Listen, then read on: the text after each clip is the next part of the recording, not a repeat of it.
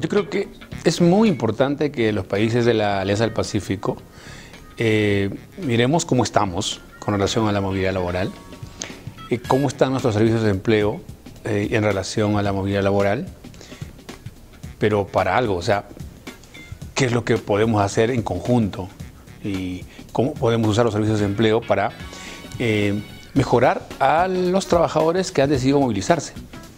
Entonces, en ese sentido, creo que ha sido muy bueno esta reunión. Hemos conocido las buenas prácticas de los diferentes países con relación a los servicios de empleo. Y yo mismo he traído las cifras de cómo están los chilenos, colombianos, mexicanos en el Perú, sobre todo en el sector formal. Y nos hemos dado cuenta que eh, el Perú ha crecido enormemente, eh, sobre todo la migración de los colombianos, casi en 81%.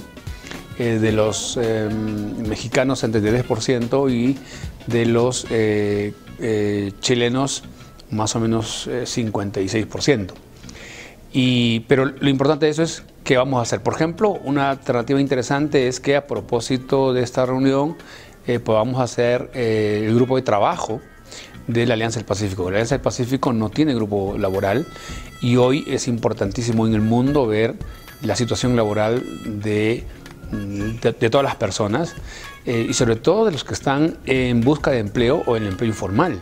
Eh, en nuestros países la informalidad es muy alta, el desempleo también es alto, en consecuencia tenemos que mirar cómo hacemos para eh, mejorar las condiciones laborales de los países de la Alianza del Pacífico y también mirar cómo la oferta formativa puede de alguna manera ayudar a tener mejor capital humano para luego poder impactar también en la productividad de nuestros países.